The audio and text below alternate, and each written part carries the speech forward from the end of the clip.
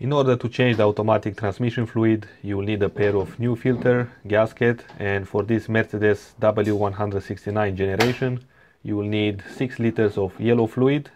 The part number of the fluid I used is going to be on the screen. Now the first step is to lift the car and place it on jack stands, at least the front of the car.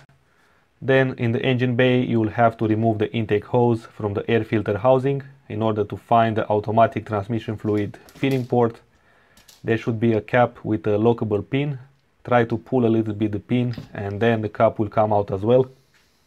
Remember the O-ring which might remain on the filling port.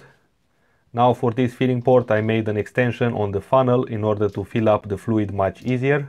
I basically connected a fuel hose with the tape which actually end up in a pretty secure tool with no fluid leaks. Next you will definitely need a transmission dipstick. This one is not original but it has some level marks on it so you can still do your job. So with the car on jack stands you can measure the fluid and remember to measure the new fluid level when the car is on the same level so you can compare it. Before going under the car make sure the handbrake works and is on place something behind the wheel so the car won't roll and put some safety glasses on. Under the car you will have to drain the fluid, remove the bottom panel and replace the filter. So try to open the drain bolt with a T30. If it's stuck and round it up, as most of them are on older cars, then you'll have to open the panel bolts in such way that the fluid will drip from one side only and you'll have to make that control spillage You'll have to take your time and open it more and more until no more fluid is coming out. Now you can finally remove the panel and carefully to not spill the fluid left in it. It can be important if you want to measure accurately how much fluid you removed so that you can refill with the same amount. Removing the filter, be prepared for some extra fluid to come out. Also make sure that the rubber gasket around the filter connection point is still there and don't leave it on the transmission.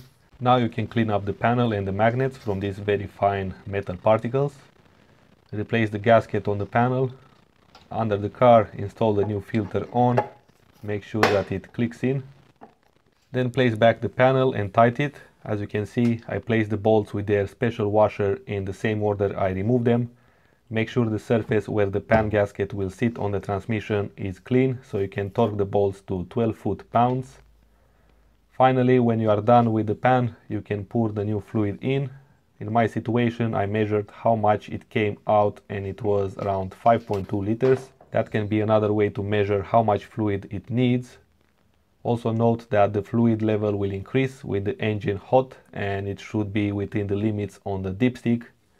When you are done, place back the cap, install back the air filter hose and that's it, job done. Let me know if you have any questions in the comments below. And until next time, take care so I can see you soon.